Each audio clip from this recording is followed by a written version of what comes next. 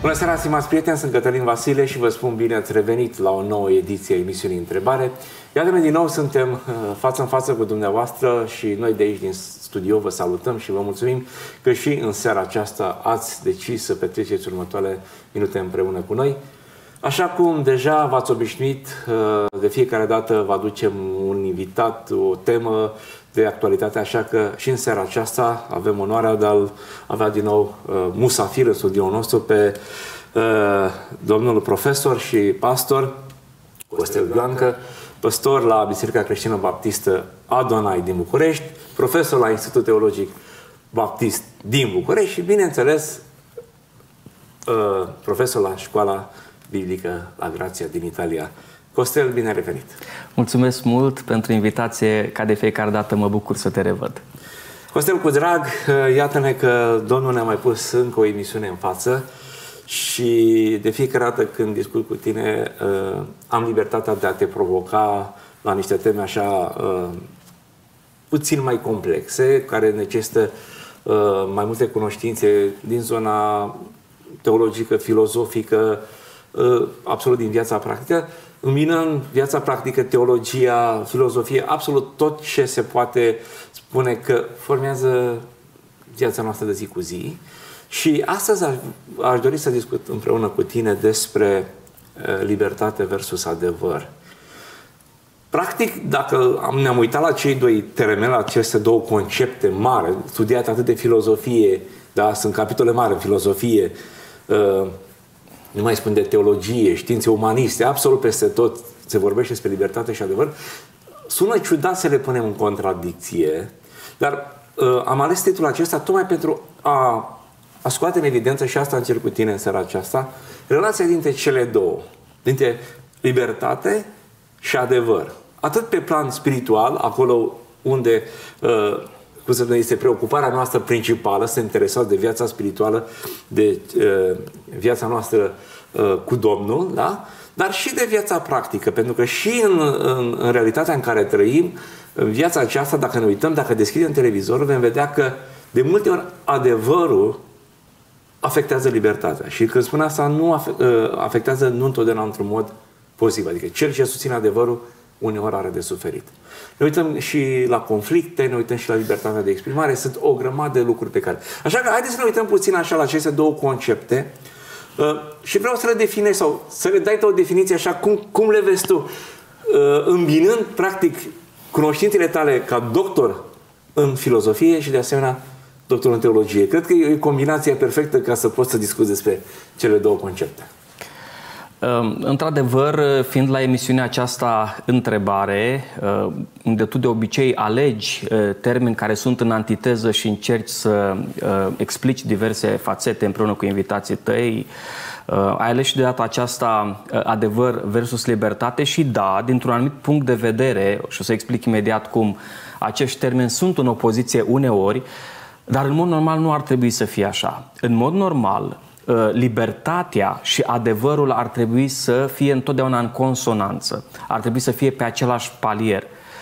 În mod normal, unde este adevăr, ar trebui să fie și libertate și unde este libertate, ar trebui să fie și adevăr. Deci, n-ar trebui să fie niciun fel de contradicție.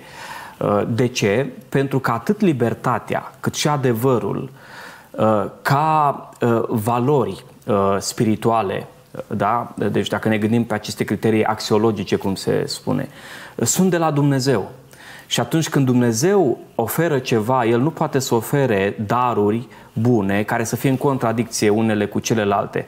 Dumnezeu este adevărul. Știm foarte bine că Mântuitorul vorbește despre sine, nu? Avem uh, Ioan 14 cu 6, sunt și alte texte, dar spune eu sunt adevărul. Deci Dumnezeu este adevărul și Dumnezeu este Cel ce este și El nu depinde de nimeni și de nimic, El este liber în ființa Lui, în esența Lui. El este liber la modul absolut.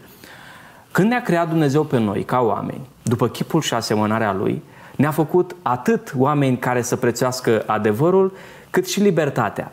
De fapt, pe lângă faptul că sunt daruri de la Dumnezeu și de aceea ele ar trebui să fie împreună, niciodată să nu fie într-o contradicție, gândește-te că adevărul întotdeauna ar trebui să pună în lumină libertatea noastră. Pentru că atunci când noi trăim în lumina adevărului, noi de fapt trăim ca ființe libere, cum Dumnezeu ne-a creat după chipul și asemănarea lui Dumnezeu. Când nu mai trăim în lumina adevărului, începem să fim prinși în mrejele minciunii, ale înșelăciunii și atunci ne pierdem și libertatea.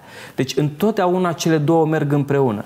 Din păcate, și de aici poate vine și titlul emisiunii tale, după cădere, se întâmplă ca uh, o valoare să fie sacrificată uh, de dragul celeilalte. Și dacă vrei să rămâi cu adevărul, uneori trebuie să-ți sacrifici anumite forme de libertate. Atenție, nu toate foarte, liber... foarte a, a, anumite forme de libertate. Alte ori, ca să rămâi liber, adică cu anumite forme de libertate, trebuie să sacrifici adevărul. Deci, uh, după cădere, ele pot să fie în conflict, uh, dar nu la un nivel profund.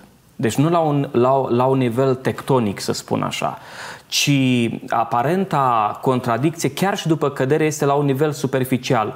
Pentru că ce a creat Dumnezeu a creat bine. Și întotdeauna adevărul tare, profund și libertatea tare de esență, libertatea spiritului, întotdeauna vor rămâne împreună și vor face casă bună. Sunt uh, ca două fațete ale aceleași monede cel care alege doar adevărul fără libertate sau doar libertate fără adevăr, deja acolo face un compromis și iese din zona aceasta pe care Dumnezeu a rânduit-o. Deci, dacă ar fi să definesc aceste lucruri, așa aș spune că sunt două valori esențiale dăruite de Dumnezeu umanității, omului creat cu imago Dei, cu chipul lui Dumnezeu, valori care provin din însăși ființa lui Dumnezeu și, prin urmare, dacă provin din însăși ființa lui Dumnezeu, sunt valori eterne.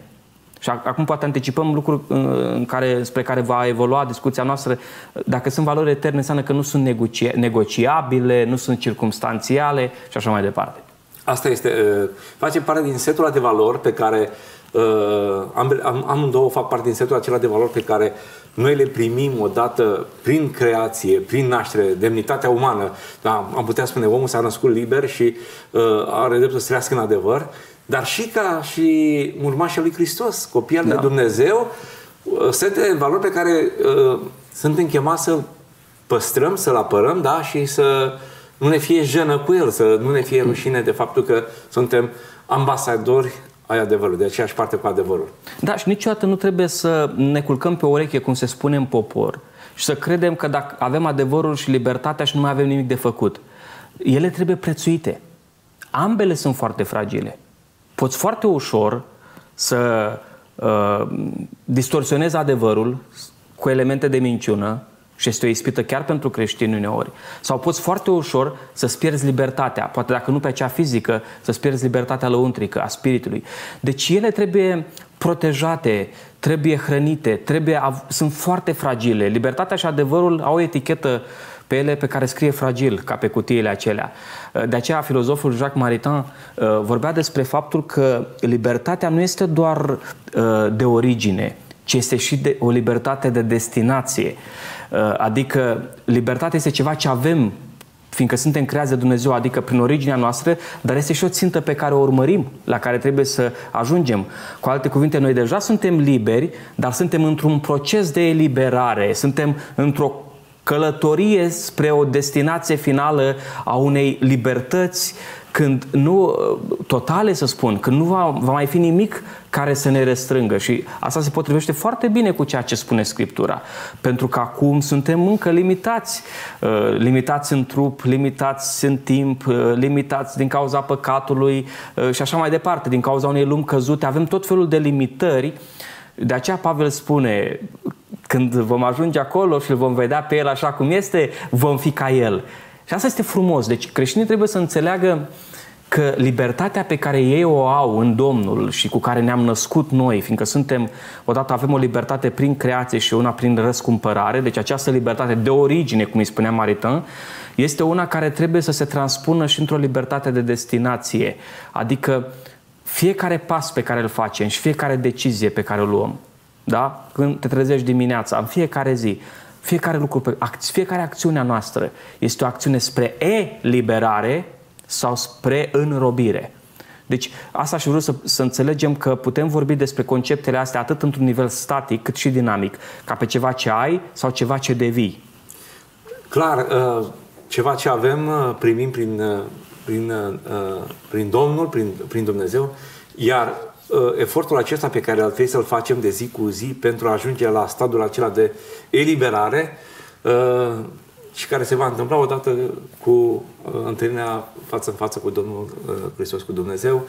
Și atunci vom putea spune că într-adevăr și, și suntem și în deplin în adevăr că vom veți cunoaște de plin, dar vom cunoaște și adevărul de plin, dar și vom fi liberi de orice, uh, să spunem, act de corupție, fie că vorbim de păcat, fie că vorbim de, de alte... ceva din noi sau din da, afara din noastră. Afară. Sau, da.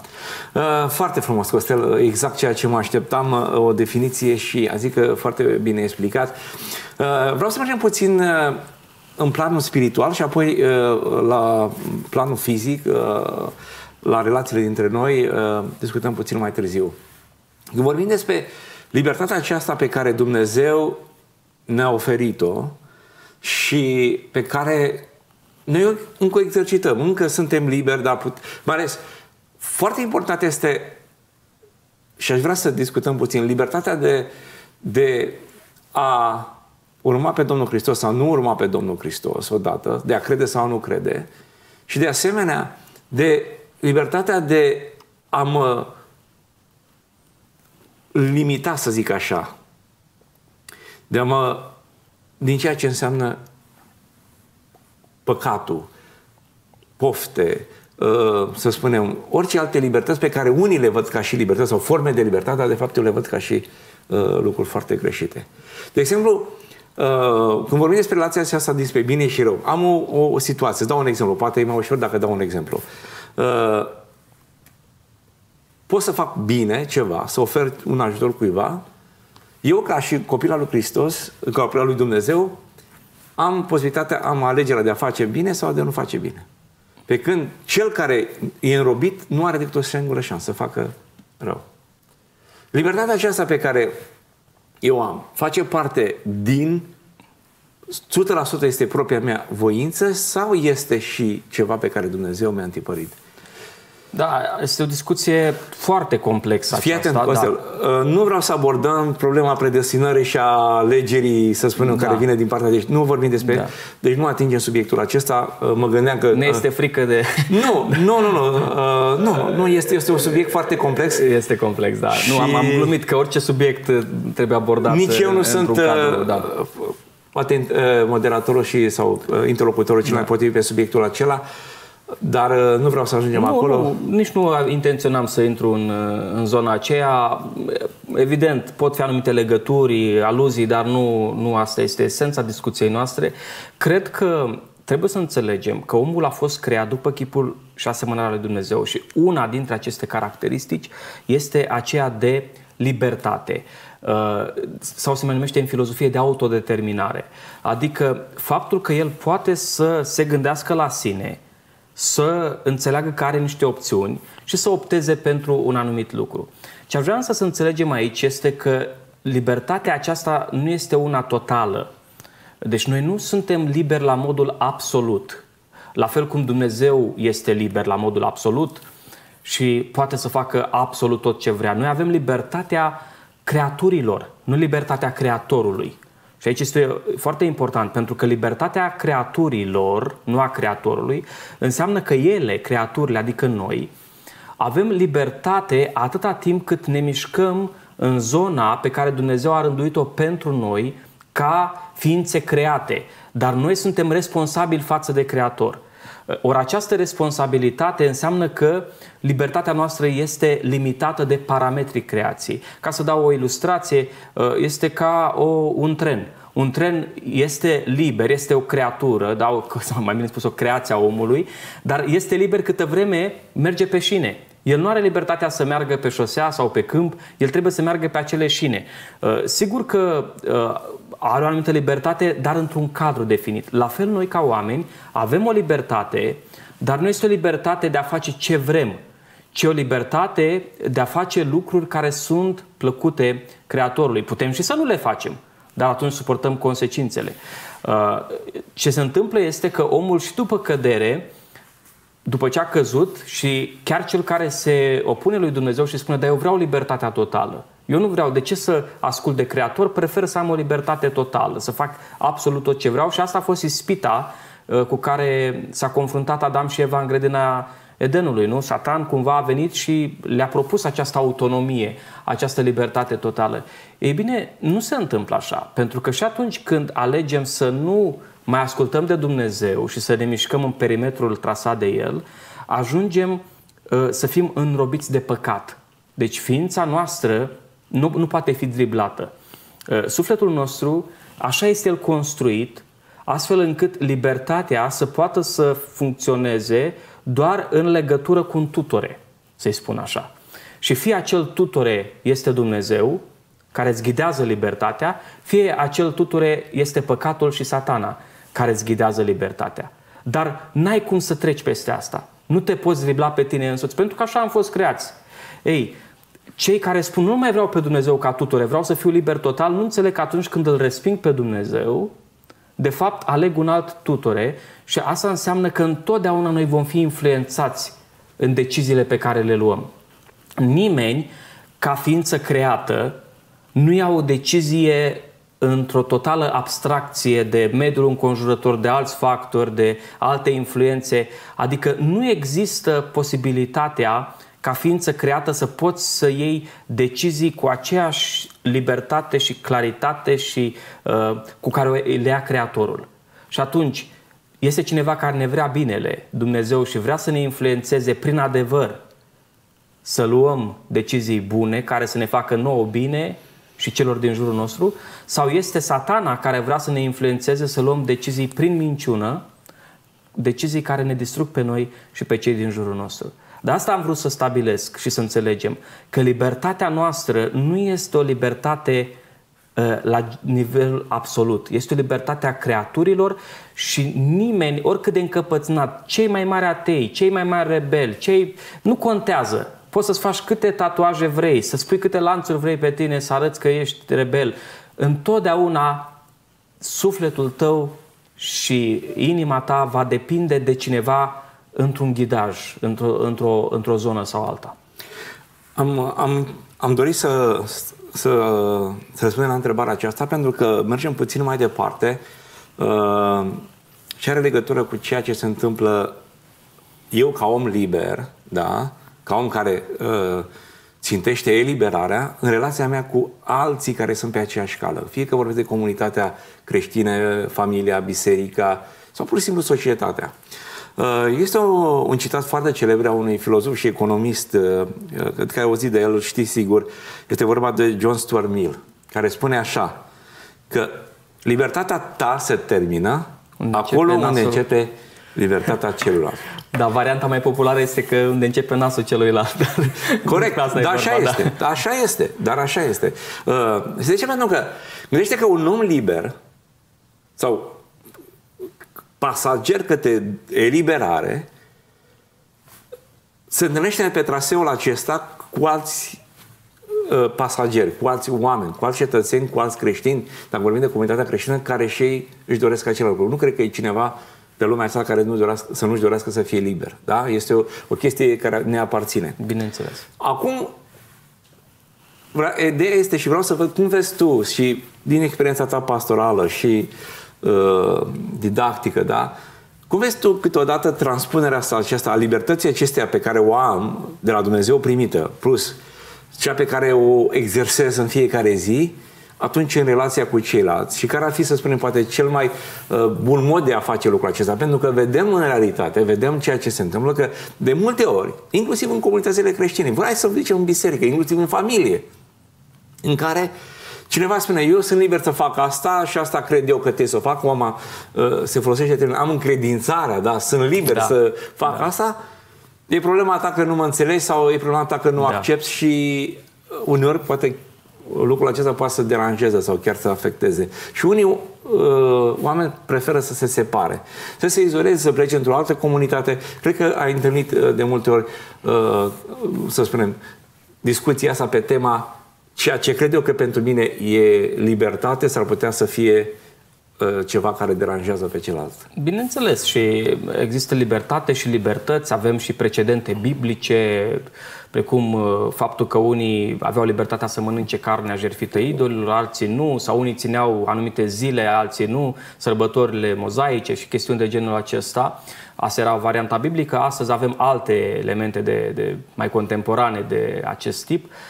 Ei, a, aici este frumusețea. Că în ecuația asta foarte interesantă a jocului dintre libertate și adevăr și cum spuneam mai devreme, Dumnezeu ne ghidează întotdeauna spre libertate prin adevăr. Deci adevărul este instrumentul care ne face liberi și dacă Dumnezeu este tutorele nostru ca să ne ajute să funcționăm în parametrul stabilit de El, prin adevăr ne conduce pe calea libertății, la fel cum în contrast satana ne conduce pe calea uh, robiei prin minciună. Asta sunt, acestea sunt dubletele uh, despre care vorbim, dar în ecuația aceasta foarte frumoasă a jocului dintre libertate și adevăr, uh, un alt lucru este că suntem ființe sociale.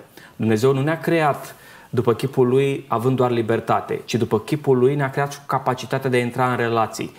Și le înțelegem relațiile, uh, spre deosebire de alte tipuri de, de, de relații Uh, cum e în lumea animală, deși ei sunt în turmă, dar, dar nu le înțeleg, nu le conștientizează și nu le negociază la fel cum o facem noi.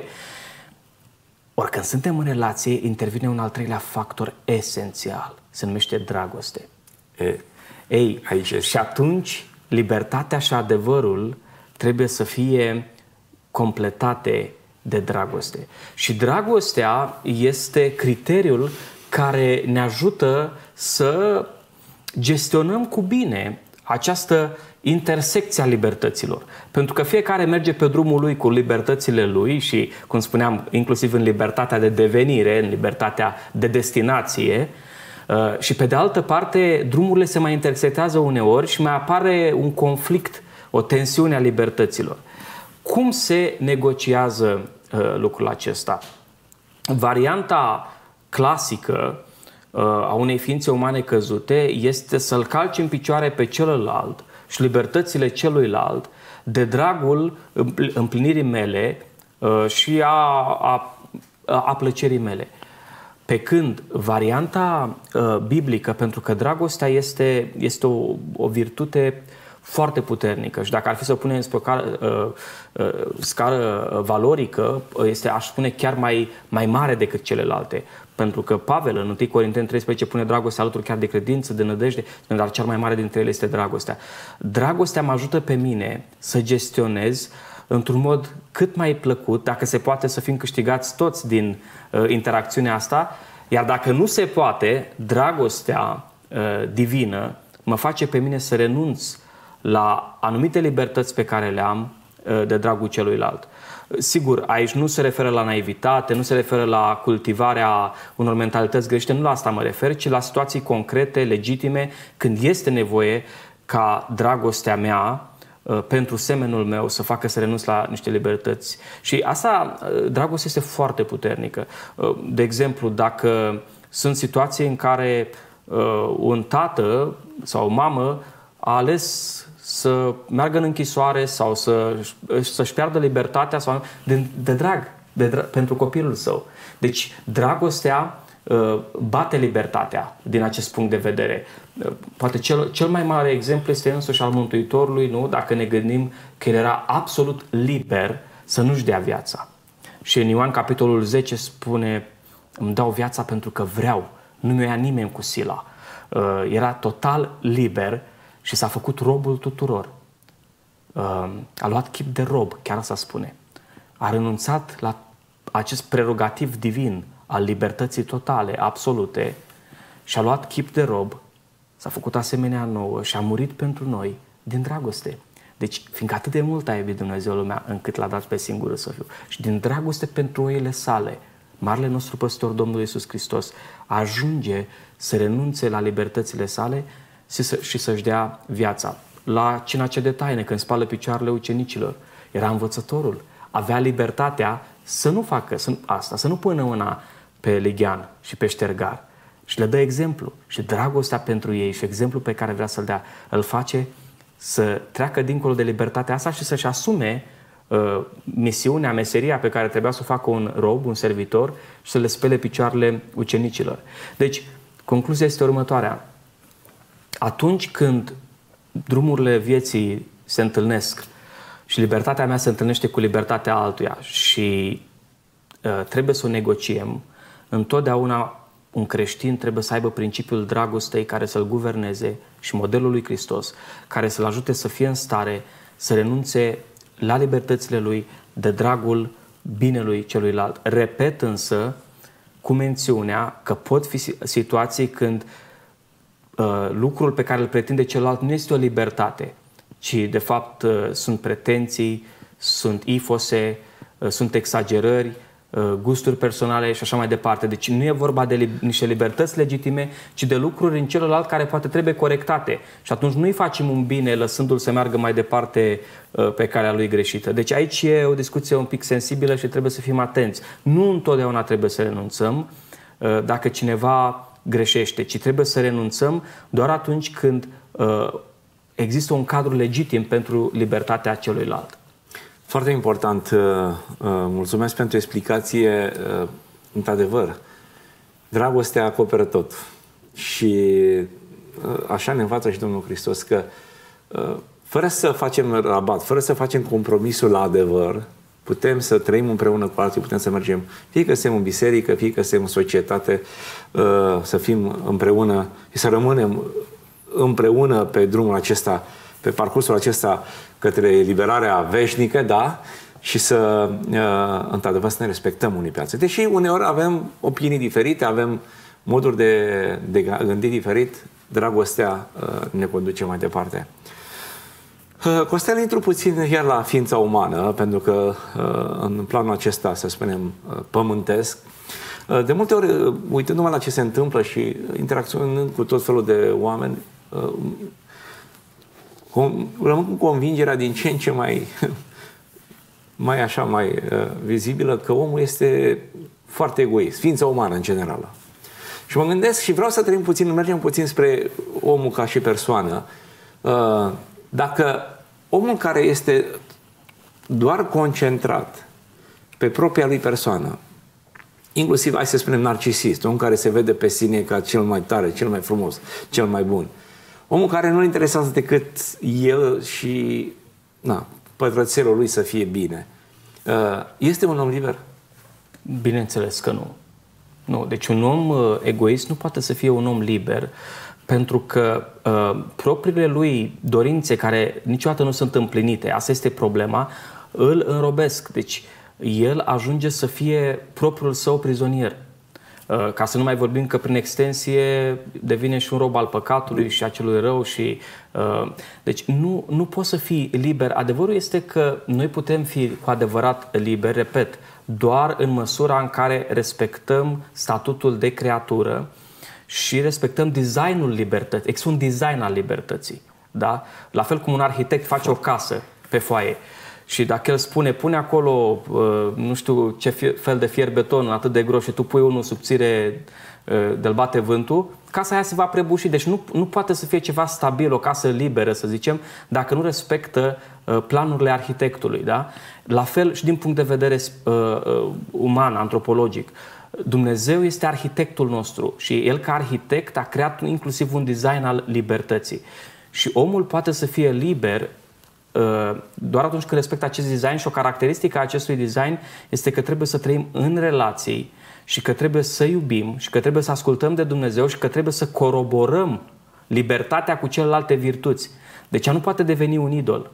Deci când, când facem din, din propria mea libertate, fac din propria mea libertate un fel de idol și îl izolez, că multe păcate și mulți idoli apar nu pentru că sunt rele în sine, ci fiindcă sunt uh, izolate de celelalte, printr-un reducționism. Uh, deci când eu am izolat libertatea mea în felul acesta, a, atunci devine un idol și nu mai este cu adevărat o libertate, ci este o robie. De aceea, când cuplezi libertatea cu adevărul, cu iubirea, cu dreptatea, Uh, cu credincioșia, cu fidelitatea și așa mai când, când cuplezi uh, adevărul cu toate celelalte, uh, libertatea cu toate celelalte virtuți, abia atunci poți fi cu adevărat liber. Ori egoistul narcisistul asta face. Ia propria sa libertate și propria sa, propriile sale dorințe, le așează pe un piedestal și atunci le rupe de, de ceilalți. Nu mă interesează, n-am empatie. Nu mă interesează cum te simți tu. Eu mi-au libertatea să te bat jocoresc îmi iau libertatea să-ți calc demnitatea în picioare. Îți spun ce vorbe îmi vin mie pe gură, că vreau să mă simt liber să ți le spun. Dar nu mă gândesc la tine cum te simți. Nu mă gândesc cum te afectează. Ei, poate am libertatea să vorbesc urât și să te, să te înjur sau să te bat jocoresc. Dar, de fapt, în spiritul meu m-am înrobit. Nu sunt liber. Când fac asta în duhul meu, eu nu sunt liber. Pentru că n-am respectat, n-am așezat libertatea mea conform designului creației în relație cu celelalte valori.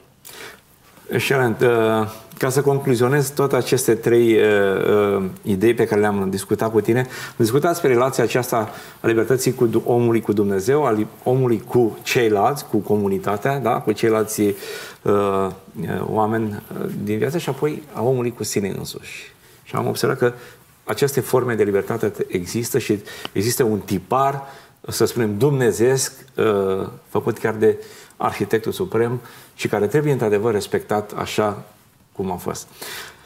Uh, hai să mergem puțin tot în zona aceasta practică uh, a vieții și ne uităm puțin la ultimele provocări ale secolului 21, care într-adevăr au în centru relația aceasta dintre libertate și adevăr.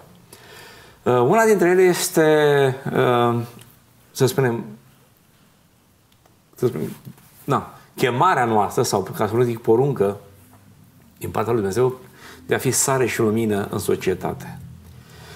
Ca să fii sare și lumină în societate, un creștin trebuie să facă niște eforturi, da? să fie în primul rând vizibil.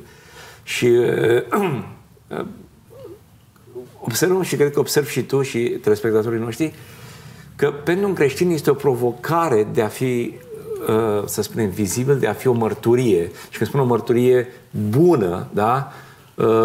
Uh, să fie o lumină, într-adevăr, care să lumineze lumina lui Hristos și, de asemenea, să dea gust societății în care, în care se află.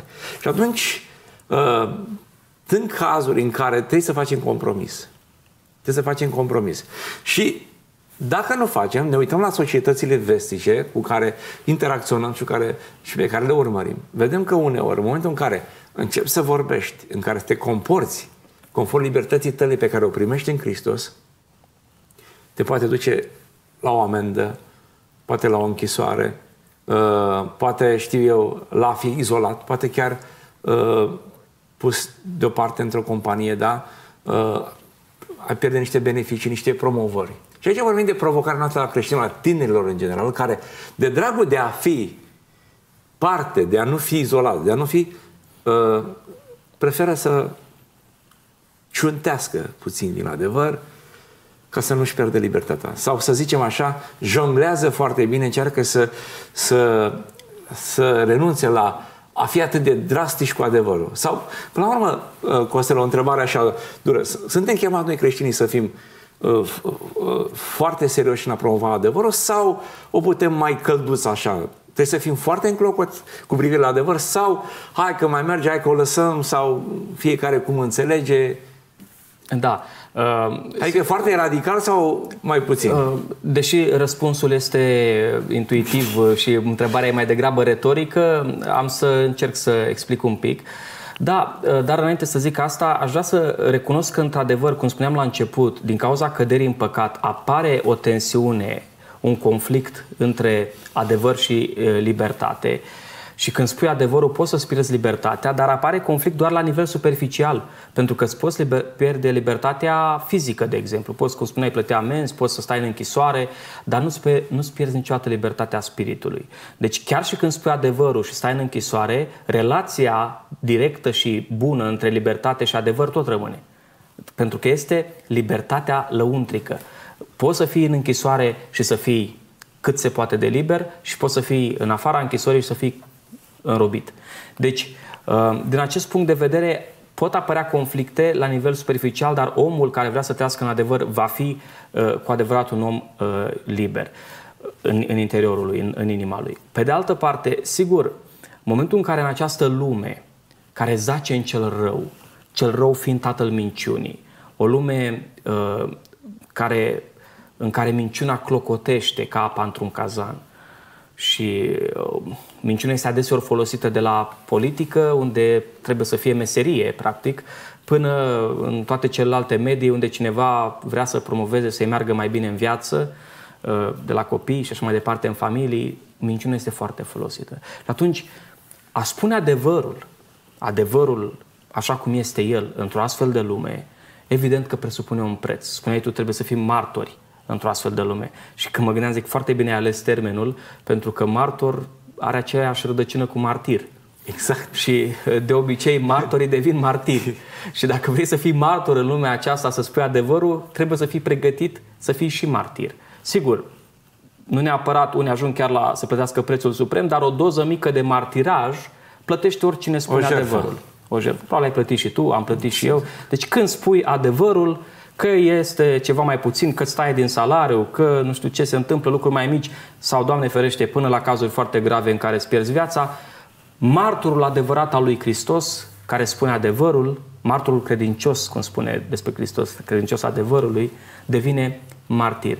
Și din acest punct de vedere, da, confirm, trebuie să fim pregătiți, a rămâne fidel adevărului în lumea asta presupune un preț mai mare, mai mic, dar presupune. De altfel, toți cei care vor să trăiască cu evlave pentru Domnul vor fi prigoniți.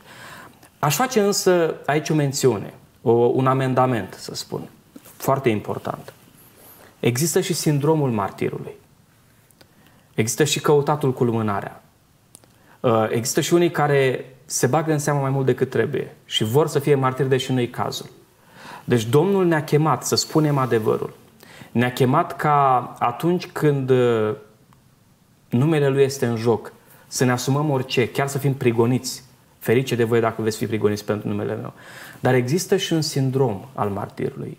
La fel cum în secolele, uh, în sensul propriu al cuvântului, în primele secole ale creștinismului, credeau unii că martirajul este biletul către cer și își doreau să, uh, să fie martirizați, uh, cum era Origen, că i-a ascuns maică sa hainele ca să nu fie, să nu se ducă să fie martirizat. Deci, în, în astfel de situații există oameni care cred că dacă vei suferi, Dumnezeu apreciază foarte mult lucrul acesta și îți va fi foarte bine, dar suferința nu este o virtute în sine.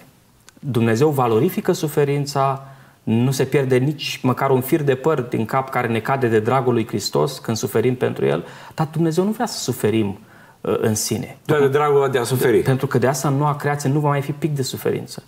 Și atunci, de obicei, cei care au sindromul martirului uh, bagă mâna în cuibul de viespi, fără să fie cazul, uh, fie pentru că se gândesc că așa vor primi răsplăți din partea lui Dumnezeu, fie, atenție, ca un, fie, pentru că au un complex mesianic.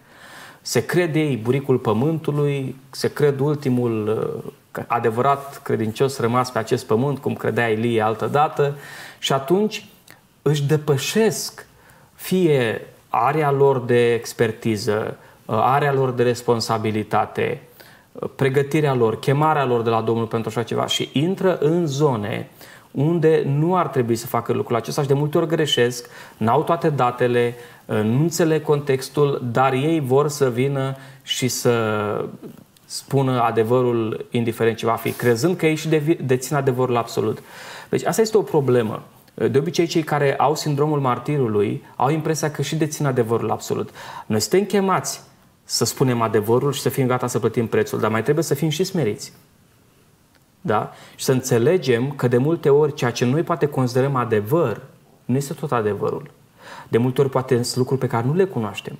Poate sunt în, în background, în, în, în spate, tot felul de elemente și atunci trebuie să avem căderea, răbdarea, bunul simț și smerenia să spunem Poate e de competența mea, poate nu e, poate știu 50%, poate știu 80%, poate așa, poate n-ar trebui să merg singur, poate ar trebui să ascult și pe altul. Și iată devine un joc mult mai complex și mai, mai sensibil acesta de a spune adevărul. Dacă după toate evaluările, după toate situațiile, trebuie să-l spui și este o situație clară, atunci îl spui și îți asumi prețul. Dar părerea mea este că mulți creștini, și dau exemplu acum cu pandemia, Eu vorbesc deschis aici. Foarte uh, uh, În pandemie, mulți au căutat ocolumânarea. Și apoi s-au, s-au dat mari martiri ai lui Hristos. Că nu era cazul. Nu a venit nimeni să se ia de ei în mod special, uh, nu au fost criterii discriminatorii, uh, au fost criterii care s-au aplicat uh, pentru toți, dar ei au avut impresia că știu tot adevărul, și prin față, și prin spate, și adevărul vizibil, și adevărul conspiraționist, și ce oculta. Și... Deci ei au impresia că sunt locul lui Dumnezeu, care știu tot. Și atunci au toată libertatea să vină să depășească un perimetru al bunului simț și chiar al rigorilor legii, sunt, au fost unele cazuri extreme, evident, și atunci suferă și, evident, mai vor să mai și filmeze alții, să arate cât sunt ei deprigoniți pentru Hristos. Deci, de asta am vrut să nuanțăm un pic lucrurile. Da, în lumea aceasta coruptă, trebuie să spunem adevărul întotdeauna, nu doar câteodată.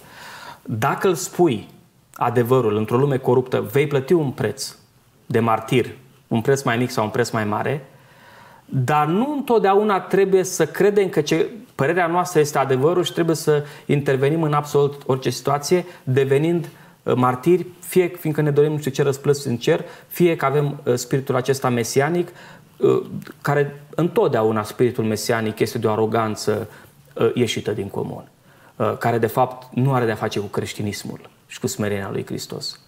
Deci atenție aici, este foarte, foarte important uh, Uh, să înțelegem aceste distincții și nuanțări. Și practic dovedește că respectiva persoană, deși se consideră că e liber și vrea să scoate în evidență suprimarea unei libertăți, unei forme de libertate, da? de fapt el este rob deja a unei uh, a unei mentalități pe care deci, o are, da. Deci el, el se consideră pe sine că trebuie să vină în locul lui Dumnezeu și să administreze dreptatea pe pământ și că altul nu mai poate, bine că a rămas el. Deci acolo sunt, unele sunt aproape la limita bolilor uh, psihice, deci la nivelul psihozelor. Vorbesc foarte serios și știu ce spun când spun lucrurile acestea. Deci um, sindromul acesta al martirului este extrem, extrem de periculos. Dacă Dumnezeu ne cheamă să fim martiri, atunci El ne va da și harul să putem fi și nu putem decât să spunem facă-se voia lui Dumnezeu, chiar dacă e greu. Dar nu trebuie niciodată să căutăm lucrul acesta în mod intenționat, batjocorind numele lui Hristos, făcând o defavoare creștinismului. Au fost, aș putea să intra în detalii, deci au fost de-a lungul istoriei astfel de, de secte, astfel de mișcări extremiste, știm și mișcarea radicală exact. și mai departe. Uh, deci, uh, mișcări din acestea în care te, în loc să fie o lumină în societate, devii o travă în societate și faci ca numele lui Hristos să fie batjucorit. Atenție! Uh, nici Hristos n-a răspuns la toate întrebările. Uh, când îi mai puneau întrebări, Iisus tăcea. Uh, și când a fost nevoie să intervină, a intervenit. Dar n-a căutat în mod intenționat să-i strânească pe oameni și el chiar era Mesia. Deci, atenție la aceste Dacă lucruri. Mesia a ales uneori să să, să rămân... nu se foarte mesianic. Exact. Da. Cu atât mai mult noi care suntem niște, uh, niște ființe păcătoase și uh, limitate, da? fără, să ne arog, fără să ne arogăm niciun drept, nicio virtute care de fapt nu ne aparține. Da.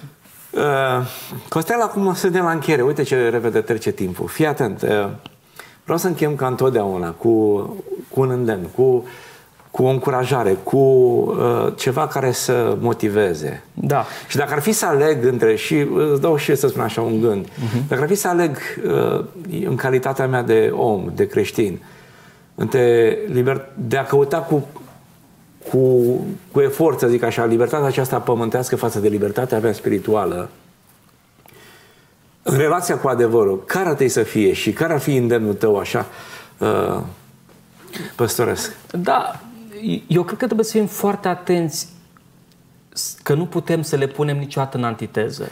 Deci este extrem de important și de aici vin multe boli. Am uh, în teologie, în practică a bisericilor. Deci din toate punctele de vedere, erorile și chiar ereziile vin sau survin ca urmare a reducționismului. A faptului că nu reușim să înțelegem că este un peisaj întreg de, de, de virtuți, de trăsături pe care Dumnezeu le-a lăsat și trebuie să le ținem împreună. De aceea aș spune că dacă trebuie să ne sacrificăm libertatea pământească de dragul adevărului, evident că trebuie să o facem și să alegem adevărul.